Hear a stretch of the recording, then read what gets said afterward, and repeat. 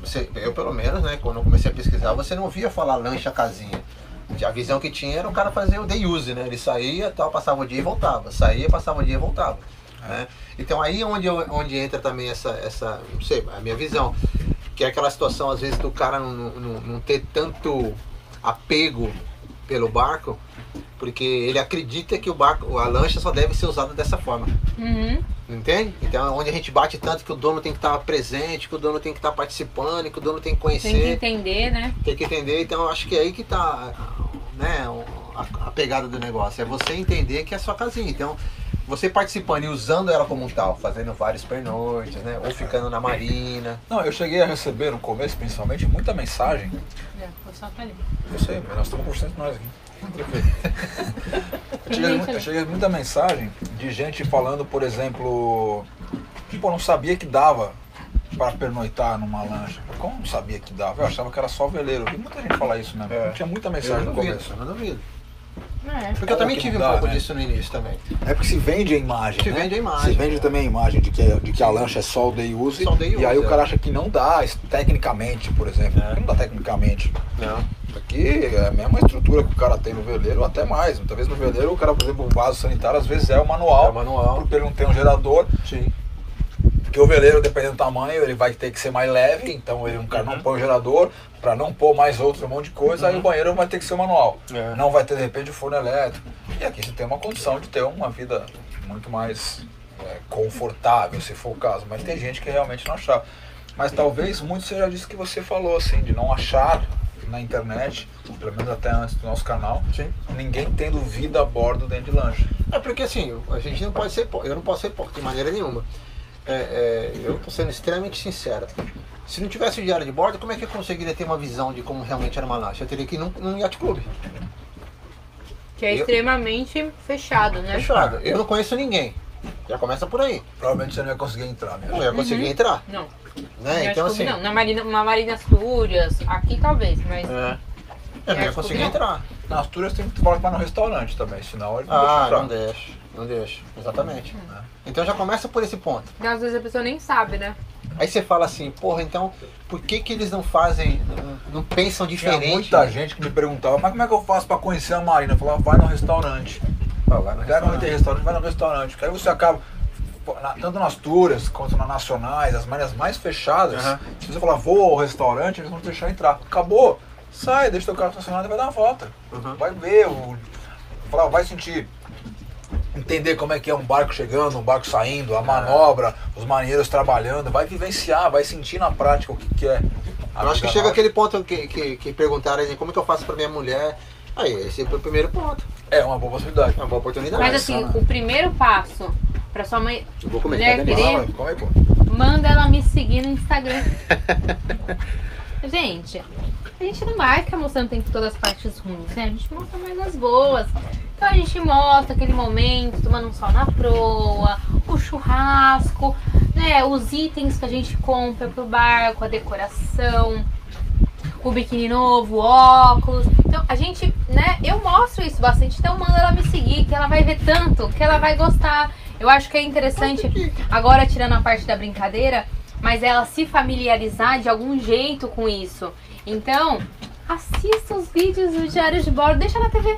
Deixa lá repetido, repete. Mas é verdade, porque é, vai chegar uma hora que ela vai saber que o barco, que ali é a proa, que ali é a popa. Ah, esse é o cabo, né? Ah, esse aí é o bombardo. Ah, esse aí é em tal ilha. Então vai chegar uma hora que ela já tá um pouco familiarizada.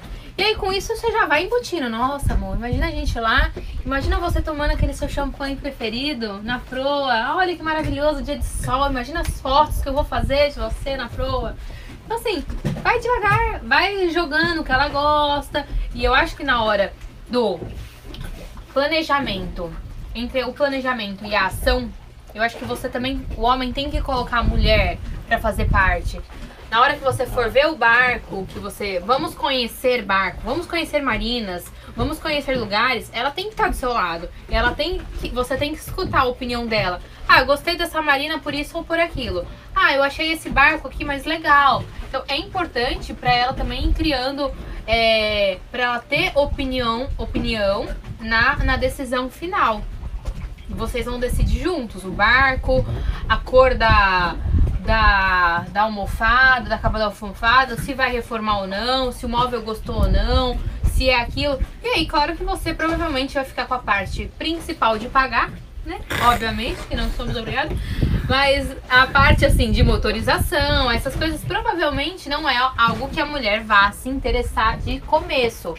Pode ser que eu esteja errada e sendo até um pouquinho machista na minha opinião. Mas eu vejo de uma não, forma acho que do não é que machista, eu. porque infelizmente eu até gostaria que mais mulheres gostassem de Sim. partes mecânicas. Seria legal se o mundo fosse mais equilibrado. Não, mas eu acho Mas difícil. infelizmente ainda é a É, que é, uma, é uma coisa que talvez não faça tanta parte da nossa cultura. Eu também não fui. O Paulo, Sim, vamos ver o barco. Peraí, que motor aqui tem? Não. Eu queria saber se o móvel era bonito, se estava intacto, se o meu quarto era bom. Então, essas coisas. E aí, ao longo do tempo, conforme o seu bolso vai, vai dando ou não, mas dando um passo, É, assim, se dá né? pra ter um, um girador, quanto mais confortável, melhor. Ah, não dá, Gabi, o nosso limite é aqui. Então vai se adaptando, entendeu? Vai dando E dá pra motivos pra ela várias formas, gostar. né? Que nem o da Babitonga que saiu com a mulher.